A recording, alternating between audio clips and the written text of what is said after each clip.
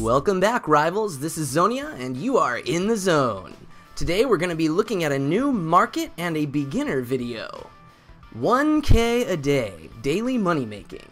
In today's video, I'm going to try and help show you the simplest, fastest way to make 1,000 Clintz a day in UR. This may not seem like a lot, but believe me, it's more than you think, and it takes very little effort.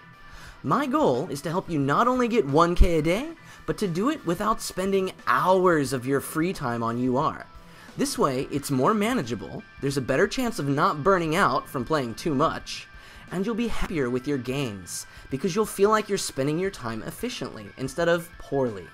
In fact, I'm going to try and help you do it in just one and a half hours a day. Once again, this video is particularly dedicated to the newer UR players out there who may have stumbled onto my video while looking for how to succeed in UR on YouTube. Welcome. So, let's take a look at an outline of what we'll be talking about today, then the schedule you should follow, the core or basics of this, and then the last 15 minutes that you'll have. So first, let me be upfront. You may not actually be making 1k every day but you will be making 1K on average every day. The amount will fluctuate from day to day. You can achieve this through several different simple methods. So let's cover each method and check to see what you learn on average in each. Oh, and one final note. This is all based on using a computer to access UR's website, not the phone app. Your mileage may vary on the phone application since I don't use it, so sorry. First, here's a schedule that you can follow to help you understand what I'm going to be talking about.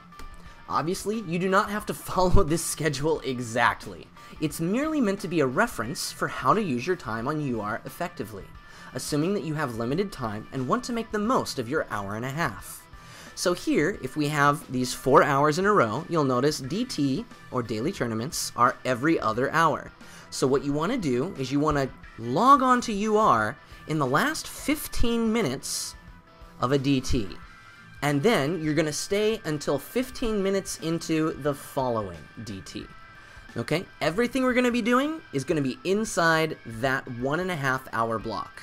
If you come in at a different time, then it's going to be a little bit harder. So for those of you with a very strict time schedule, you may not be able to make quite as much, but you'll still be able to make almost 1k a day. You just might have to put a little bit more effort into it, or hope for a little more luck.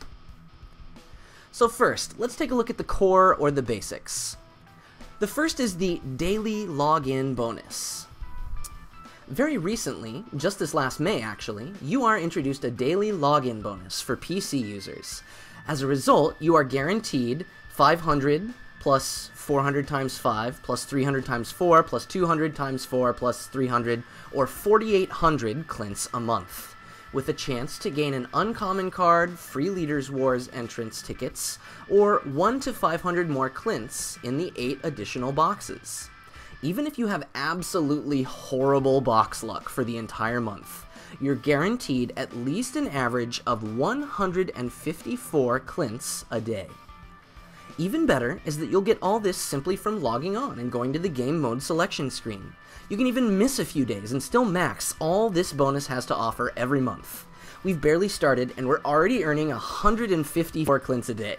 Just remember to log in. So as you can see here, I'm on the main page. I haven't logged in yet today, so I'm gonna go to play. Just gotta go to play now. I'm gonna log in and as soon as it loads, you're to have this screen pop up and it's to give you some Clintz for the first 24 days of the month. Today, my daily bonus is worth 400 Clintz.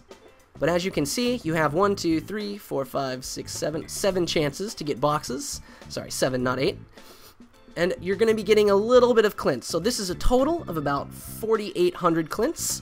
And then you're going to get 7 chances at boxes as well, which can contain anything from uncommon cards, free leader wars entrance cards or tickets, 1 to 500 more Clintz. You're also going to be guaranteed to get some uh, experience and some BPs, uh, which are going to level you and your cards. So this is just for logging in. I mean, you can even miss a few days and still max all that this bonus has to offer every month. And we've barely even starting. We're already earning like 150 Clintz a day. So just remember to log in every day. If you're not sure where you are, you can go up here next to the home, news and daily rewards, at least until the game switches over to the new site, and then here, the present. And this will show you the daily login rewards and just how far you are and what you've earned. Next up is the daily guild bonus. Additionally, if you are at least rank 2 in your guild, and your guild has put 2 points into the Daily Clintz bonus on connection guild bonus, you'll gain another 100 Clintz per day. This is not announced anywhere, so it's very easy to overlook this bonus, but it's certainly not one that you should forget about. You literally get this bonus as well for nothing other than just logging on. We've only logged into UR and we're already making 250 Clintz a day. This is why one of the most important things in the core basic section is just logging on to UR every day. So if you go up here, let's look at Legends of America. We are a level 30 guild. We're the maximum level that you can reach right now. Guilds offer these bonuses down here. Okay, I get more daily Clintz bonus. This is actually on top of what you get for logging in. Just doing this, this is plus 100. That's awesome. Extra 100 Clintz a day. Next are the DTs, or daily tournaments. DTs are an absolutely excellent way to earn the solid base of your daily Clintz.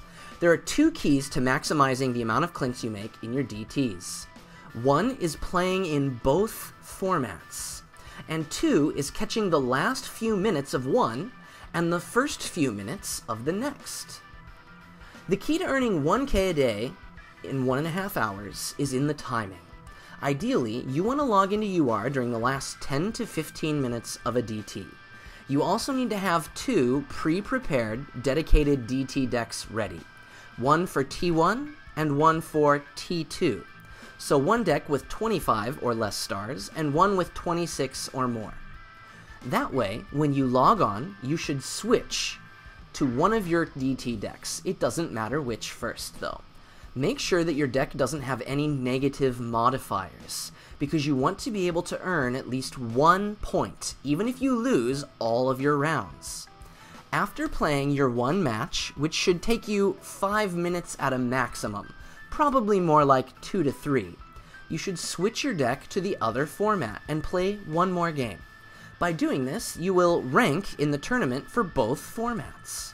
Did you know that you can play in both formats and get rewards for both? With all of our remaining time, we'll be using that to gain Clintz and enjoy the rest of the game. That's going to be happening between the two sandwiched DT battles. So in general, I earn between 60 and 200 Clintz, depending on the time of day, the format, and the day of the week. Honestly, since I don't live in America, most of my evening playtimes are in the middle of the night, or the middle of the day for the rest of the UR players, making my average Clintz earned a bit lower than the normal person. So I would say an average of about 100 Clintz per format is very reasonable, and probably a bit low in reality. So if you play both formats in two different DTs, that'll earn you on average about 400 Clintz a day for just four matches. The key thing to remember here is that it doesn't matter if you only get one point at the end of the match, because that is all you need to collect the money for playing in the DT. There are only 8 minutes left, so I'm going to try and show you really fast. It doesn't really matter. So I'm doing some missions with Roots and Sakrohm right now. It's absolutely horrible deck. Um, you can say this is the same thing as someone who might be a beginner, except you'll see some rares, but it's not really going to help me out too much. I'm just going to go ahead and play through this really fast. Remember, we're looking up here. We need to finish two games in this much time. Doesn't matter. I'm trying to gain life, so I'm going to throw Ramsey out. Maybe I'll get lucky and this person will think I'm going in deep with Ramsey for the 7 damage. Who knows? Probably not. Um, this is a horrible play. Probably nothing on Derby Queen is my guess. Yeah. That's okay, doesn't matter. The goal is just to get through the match as fast as you can. So when you log on, you should switch to one of your DT decks. I had mine already logged uh, ready when I logged on. Make sure your deck doesn't have any negative modifiers as well. There are certain cards that will give you a penalty in DTs, because you want to be able to earn at least one point, even if you lose all of your rounds. Okay, let's see, we've got Ed CR here, so, I don't know, fudge. Why not?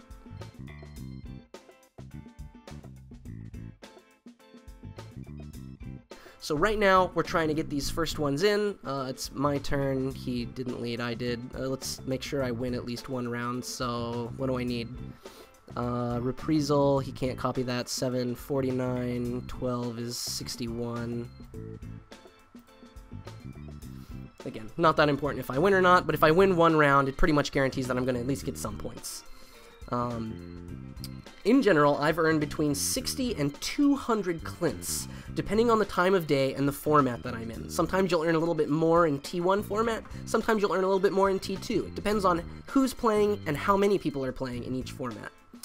Honestly, now since I don't live in America, most of my evening playtimes are in the middle of the night. Ooh, wow, I might actually win this match too. Anyway, um, most of my playtimes are in the middle of the night, or the middle of the day, or the middle of the day for the rest of the UR players, making my average Clintz a bit lower than the normal, I think. Let's go ahead and play this quickly. Don't need to do anything fancy. Did you notice I had 8 minutes? I finished this game in about 3 minutes. So I say 15 minutes. You don't really need 15 minutes, but it's to give you a little extra wiggle room just in case you get someone who takes a long time to play. Sometimes you will run into players that take a long time to play their cards. Okay, make sure you don't say fight again or you could get yourself in trouble. If you quit a game, if you hit fight again and you quit it, you get minus 20 points, which is pretty much going to guarantee that you get nothing from that. So you're going to have to play another match. So make sure that you don't hit fight again or you're in real trouble.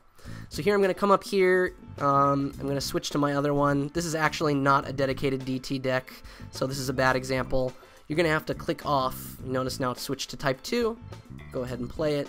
I've got a couple minuses in this deck, so I may have to play two matches. Really, there's Tan Man, so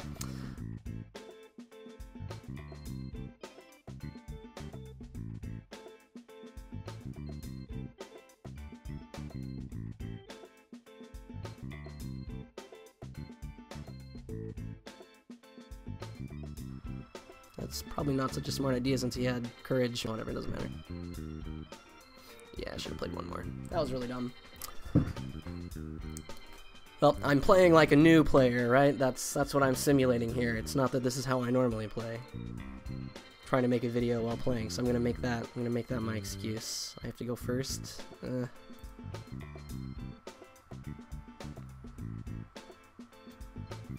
You know what? I'm gonna I'm gonna assume that he just plays nothing. Probably, ideally, I should have ensured that I won this round, but so be it. Ugh. Well, the good news is I still get my last round, and that'll be a win. Now, the later you wait in rounds as well to win, the better, the more points that you gain. So you gain more points for winning later rounds in DTs. So in this case, it's actually a little bit better for me to wait until the end because then that means that I'm gonna get more points for this win because it was in round 4 instead of in round 1.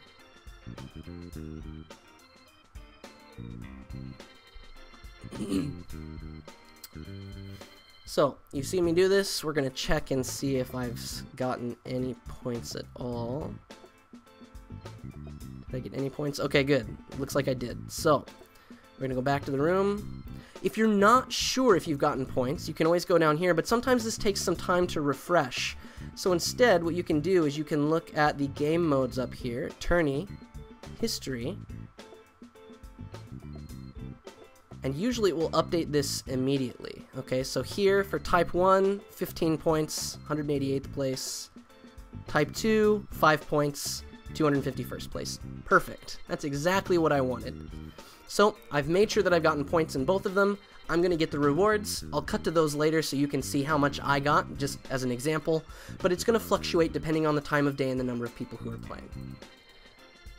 Alright, so here we are back in my inbox right now, my mailbox, and we're going to be taking a look at all of the daily tournaments that I've been playing. I promised that I would let you see what they are. I've left all of them as unopened uh, up to this point, so you know that I haven't touched them at all. Um, so let's take a look at how many Clintz that I've gotten for each one of these daily tournaments. As you can see here, I got these uh, just after midnight, and this was yesterday, uh, so it was on a Saturday night, just after that.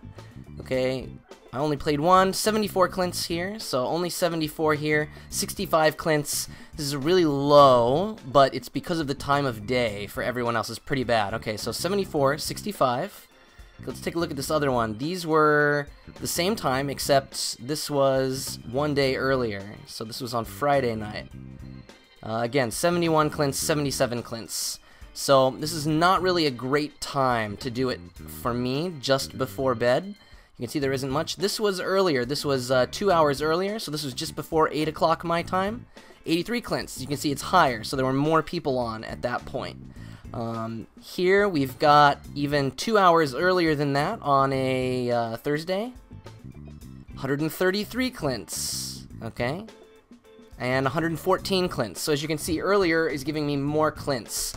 So even though I had a couple really low ones up here, uh, the earlier in the day that I do it, for me, I get a little more from these. So it's better for me to play them earlier in the day than later in the day. And I have two more here that were a couple days ago that I didn't do here. Results of these tournaments. Um, again, this was even earlier, two hours earlier than that. 116 Clintz, and 147 Clintz. Um, again, you can see I'm getting two of these per hour because I'm playing one in the T2 format and one in the T1 format. So make sure that you get both of them. And so here, for just one match in both of these, 116 Clintz, 147 Clintz. And even here, if you notice this, only 15 battle points. I was 194th when I did this late at night, which meant that if I'd have played one or two more games, I could have also gotten a uh, bronze token from it for getting in the top 150. So you don't have to put in a whole lot of effort in order to get Clintz to do it this way. So I really recommend having one deck for each that you can use in order to do this, and make sure that you find a good time in your evening that is uh, convenient for you because this will make it uh, very, very easy for you to make a good 200 to even 250, as you can see here, Clintz, uh, just for two matches. Next is duel mode. We've got one hour between DTs to maximize our UR gains. Well, what should we do? I think the first thing is simple. Go to duel mode. Especially if you're a new player, duel mode is a must. You should use it to try and finish a lot of your missions, or load a dedicated deck and blast through Kate as fast as possible to get to doing other things you might enjoy a little more. The common that you receive is just as good as money, with the median card being worth about 350 Clintz. You could even get lucky and hit one of the commons that's worth over 1k. You've got about a 7 to 8% chance of that. But even so, let's assume that you have average luck and stick with an average earning of about 350 Clintz a day here. 10 matches played well, and especially with a T2 deck, or one with 35 to 40 stars, should only take you around 30 to 35 minutes to finish off Kate. It may take upwards of your entire hour when you first start, or if you're going after certain very difficult missions, but learning the ins and outs of a dedicated deck will quickly result in faster play against Kate. Longer times to finish missions aren't a problem either.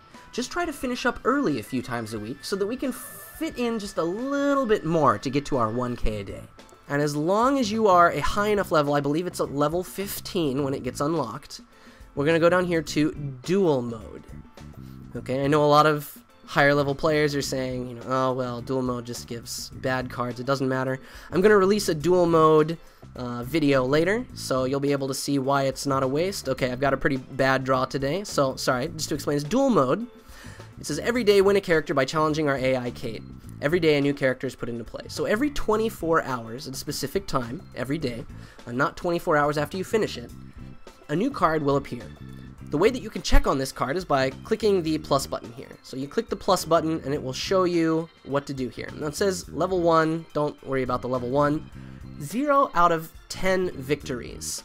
Some people have done this before and thought that they only needed to beat Kate once. You need to beat Kate 10 times. You can play Kate as many times as you want to. It's not 10 out of 10, it's just 10 wins until you get 10 wins. After 10 wins, you can't play anymore. Finally, for the core or basics, we're going to look at weekly ELO games. In order to earn our daily Clintz from ELO, we need to meet two requirements. One, we need to play five matches. And two, we need to have over 1,000 ELO points. So first, this means that you'll need to win at least half your matches, which may be harder for some of you newer players. Second, your total points drop slowly every day that you don't play. So playing at least one game a day, or waiting to do your matches until over the weekend on Saturday and Sunday, is very important. The goal for newer players is to keep practicing, because once you can do the two things, 5 matches and over 1000 ELO points, you'll be able to earn an additional 400 Clintz and 2 credits every week for just playing 5 matches. That's pretty sweet, right? So playing one match a day is just an additional 5 to 10 minutes, depending on who the player is uh, that you end up going up against and how far along you are in the ELO ranking. Sadly, this means it will only add about 57 Clintz a day. Um, at least until you can hit 1200 ELO, which will take substantially more time and effort to reach, especially for newer players. It's definitely worth it if you're willing to put in the extra time and you want to become a top tier player in the future. As for weekly ELO, that's right in here under the ELO box. Obviously, I have not played any for this week, but you start with 1,000 points, and hopefully you win enough matches to stay above 1000 in order to get those extra Clintz and credits at the end of the week. So now we're up to 1061 Clintz a day. At least this much is guaranteed. And we still have about 15 minutes left over in our one and a half hour time block. So this doesn't include any missions that you might finish, any extra Clintz from battles, or free message boards events, or things from your guild that they may have. Spending the last 15 minutes, well, that's up to you to do whatever you want. Spend it as you wish. But here are just a few of my suggestions. Lots of people don't get involved with their guild, at least not really, but you should. Joining a guild increases the amount of Clintz you can earn per battle, or decreases the amount of taxes that Kate can take on your sales. It can earn you even more bonus Clintz every day, as I said before. You should give back to your guild by checking the message boards and writing just a small message, at least, here or there, just to let them know that you're still alive. My guild often has a message board only events, where all you really have to do is post something to have a chance to win some really cool prizes. Besides, if you love your guild, you're also way more likely to enjoy UR and make lots of friends. Joining a guild increases the amount of Clintz that you can earn per battle. So if you go up here, let's look at Legends of America. We are a level 30 guild. We're the maximum level that you can reach right now. Guilds offer these bonuses down here. So this is a daily bonus for battle points awarded. I get more BP, 25% more. XP, I get 25% more XP in fights. I get plus 200% on the size of my XP reserve, which is maybe not that exciting, but it can be really helpful at times. The duration, the duration of time that you have on the market. I get four extra days. We get four extra days in uh, LOA. Also, the amount of Kate's tax goes down when I sell things. So it's 25% lower. Kate usually takes off 5%. That means she only takes off 4% because 25% a little less than that. But um, basically, I save over a percent on the transactions that I do. Also, when I earn Clintz in battles, I get 10% more daily. That's awesome. Okay, and in addition, a daily XP bonus on my connection. So I'm gonna gain a little bit more uh, just normal XP whenever I try to level up my own cards. Now if you're gonna earn all of these things from your guild, then the least you can do is give back to your guild a little by checking out the message boards and at least writing maybe a small message here or there, just to let them know that you're still alive. So, for example, if we go up here, guilds, guild message board, if you look at our message board, we actually have one guy, uh, He's completely in charge of just looking for um, different events that we can do. The events thread here. Basically, the, this entire events thread, 126 messages. Incubus LOA is great. He just made admin and he goes through all of the different events that are going on in UR and he posts them here whenever there's a free one or something that we can do. That's really awesome because then I don't have to do as much about that. There may be someone in a guild that's willing to do that as well. Or if you're already in a guild, you should appoint someone to do this because it's really helpful and a really great way to help people in your guild get more out of the game. So, another guy in our guild, Sword AVG, he had a reverse birthday party where basically he gave cards to us on his birthday. Things like this, little things in here during your 15 minutes, checking out the message boards, giving back to your guild, a really great way to kind of help them out for what they're giving you in a bonus in order to do this. Another thing you can do is check the events page. Lots of people have free lotteries, and they make more and more every single day. Spend your time looking for free lotteries that you can join.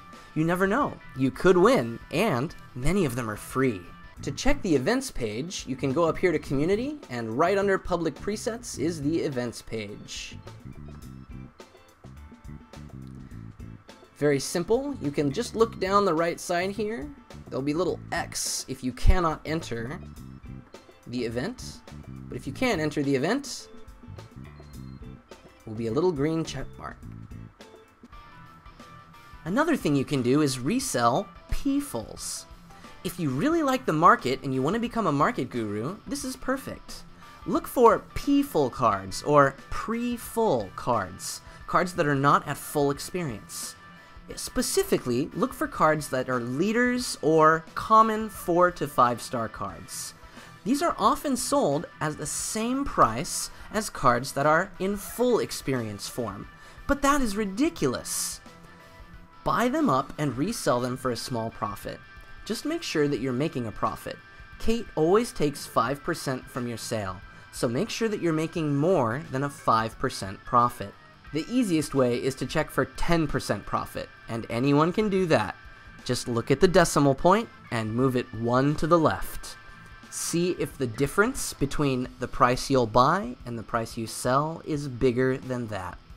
If so, buy it and resell it. It should only take one or two of that kind of find in order to make 50 or more Clintz, or even up to 200 or more, depending on what card you're able to find for the day.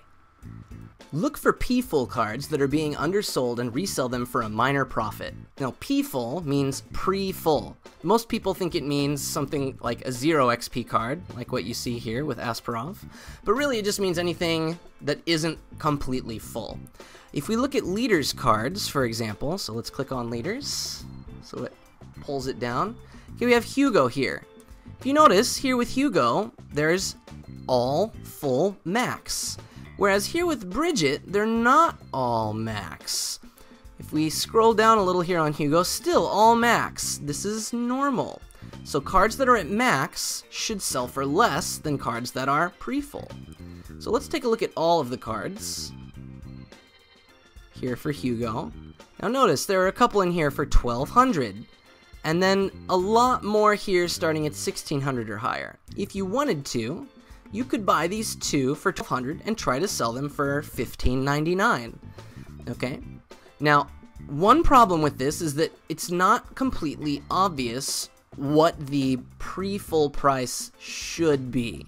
Sometimes you get into a situation like this and the pre-full price should probably maybe it should be around 1200 instead of 1600. So you could try selling it here though. Anyway, buy them up and resell them for a small profit. Remember that Kate will take 5% from your sale though, so make sure that you're making more than 5% profit. So here, if you take this, 1200 Clintz, sell it for 1600, that's going to be a 400 Clintz profit. But what is the amount going to be taken away by Kate here? Well, 10% would be 120, so 5% is going to be 60. So as long as it's more than 60 Clintz that you're making, you're fine. You're definitely making more than 60, you could be making about 400, so you don't have to worry about that. Just don't buy them when they're too close, otherwise you won't actually be making a profit. Okay? So buying it and reselling it, one or two of these kind of finds to make 50 or more Clintz would be really great every day. So just buying these two, resell them. If you sell them within a day, you've already made a bunch more Clintz, 300 Clintz for each one. You can do this with a lot of them. Leaders are very common, and 4 and 5 star common cards. Another great use of your time is finishing both character and LD missions. Lots of character missions can reward you with credits or Clintz for finishing them, and each finish mission also gets you missions points, which some guilds accept as a requirement to join them. For example, my guild, Legends of America. So, you can spend your time in tourney doing during an off hour and grind missions or stay extra in duel and grind them there against Kate. In tourney, though, you'll also earn a few Clintz per battle too. Finishing the LD missions will also allow you to earn an additional card, which is really helpful for you newer players, for each one of the clans. Not all of the LDs are game breaking, but they are quite good cards, and they're definitely cards you should be looking to have in your collection to help you jump into the game and have a slightly stronger deck until you can afford some of those more pricey rare cards. What's another thing you can do? Well, you can also finish missions, okay? Lots of character missions will reward you with credits or Clintz for finishing them. Each finished mission also will get you missions points, which some guilds will accept as a requirement to let you join them, like my guild, Legends of America. So, you can go into tourney during an off hour and grind missions, or stay extra in duel mode and grind them there. Um, also, in tourney though, you'll be able to earn a few Clintz per battle as well. So if you notice, lots of missions in here that you can try and do. If you bought some Fang Pi Clang cards, you could come in here and try to do some things, say, you know, uh, let's say you try to get your 50 KOs with Kinjo. I got 150 Clintz just for that. Um, it does take a while. It does take a while, and some people think that the Clintz amounts aren't worth it, but it gives you something to do, and you can try and get missions points, which you can then compare to other people in your guild. As you can see right now, I'm ninth in my guild. Um, so it's just another thing that you can do if you're interested in trying to find another way to find something that you really like about UR that'll keep you coming back day after day. Finally, earn free credits. Now, I live in Japan, so I can't do a lot of these. But, for example, there are many commercials that you can watch that will give you extra credits, and eventually you can trade those in for packs. Or you could do some of the surveys in the free credit area, or sign up for free products and do all kinds of other crazy things, assuming you're old enough and you have parental consent. Okay, now these kinds of things generally drive me insane, so I don't do them. But I know that some people really don't mind doing it, and it's free credits, which then turn into packs, which turn into new cards, or more Clintz. Okay, usually here on the Urban Rivals main page, they've had something in here that you can do to uh, earn free credits or watch videos. The problem is, is that I'm from America, but I live in Japan now, so I can't actually watch any videos. Um, they used to give free credits for videos. I don't think they do anymore, or if they do, I don't know because I I've just been out of the loop for so long. Um, you can usually do this to eventually get enough in order to buy packs if you want uh, if you get enough credits. So through following these simple, easy steps, you can definitely make 1k a day on average. Suddenly, 60k cards like Grax, or at least what he was before his RB came out, shouldn't seem quite so far away if you're a newer player. While two months is still kind of a long time, since it'll take you 60 days, honestly, within two months, buying a card like Grax is still pretty fast. And two months isn't that long to obtain such an amazing card as Grax. After all, he is one of the top tier cards in the entire game. He's not just good, he is great. And especially knowing that you don't need to spend a single cent to do it by buying credits or completing some kind of impossible mission, it's literally just a matter of time. And not even that much time. Good draws on your daily reward cards or chests getting higher than average DT rewards, or drawing better cards from your daily duel could all speed things up substantially too. Nothing in UR is outside of your reach if you just do a few of the things that you may have once considered bothersome before. Just do them a little more efficiently and regularly. This concludes my episode on 1K a day. I hope it was helpful and encouraging, especially for you newer players. If you liked this video, then feel free to like it, favorite it, and share it. And don't forget to leave a comment below if there's anything you think I forgot. And while you're there, let me know what you do to make Clintz in UR. And of course, don't forget to subscribe for more of my Urban Rivals videos. This is Xonia, and you've been in the zone.